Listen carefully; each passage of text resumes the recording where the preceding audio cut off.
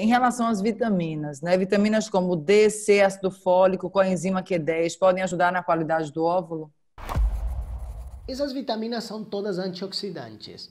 E sim, os antioxidantes ajudam na qualidade de todas as células. Eu estou preparando uma apresentação falando de como a gente pensar na longevidade e na preservação da fertilidade das mulheres com tratamentos e antes também. E, por exemplo, o efeito da coenzima Q10 em ratinhos é impressionante como a gente vê a característica de um ovário jovem em ratinhos, de um ratinho com muito tempo né? Ou seja, mais velho, e um ratinho velho que usou coenzima Q10.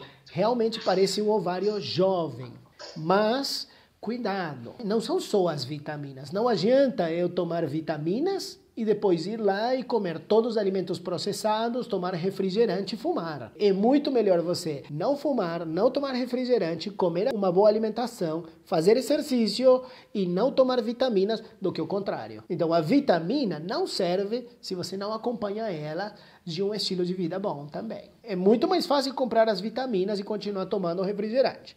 Mas, sinceramente, acho que essa é uma conscientização que todas as mulheres devem ter nesse sentido.